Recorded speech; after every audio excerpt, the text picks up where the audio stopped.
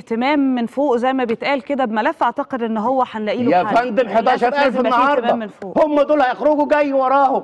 طب وبعدين يا برلمان؟ صح صح. لازم يكون في حل لأن السيدات الله. دول يعني إحنا ممكن المرة الثانية أو المرة الرابعة والسادسه هنقعد نقول وهنستمر في ده. السيدات دول ممكن حضرتك فعلا تكون عندك رحمة معاهم إن أنت تستغل تستغلهم أو تستغل أزمتهم في عملية إنتاج أو إن أنت تساعدهم إن هم يعرفوا يعيشوا وحتى ما نقولش إن أنا هم هرد عليك، مش هتشيل هرد. الغرامه دي بس يسددوا من شغلهم حتى. إذا كان رئيس الدولة رحيم عليهم أكتر منك. ما هو ده أنا بتكلم وزارة. الداخلية رحيمة عليهم. شوفي لما بيعيوا مستشفياتهم جوه أكلهم شربهم بيطمنوا عليهم شرطة نسائية معاهم. يا أخي علي عندك دم.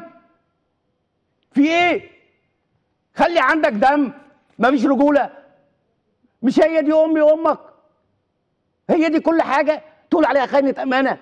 لا وفي ناس بتدخل بأرقام قليلة جدا يعني لو حضرتك حرام! عارفين يعني يعني في وسط الغ... الغلاء 2000 دوت. جنيه وحاجات زي كده. بنتها جالها عريس. آه. تسترها ولا ما تسترهاش؟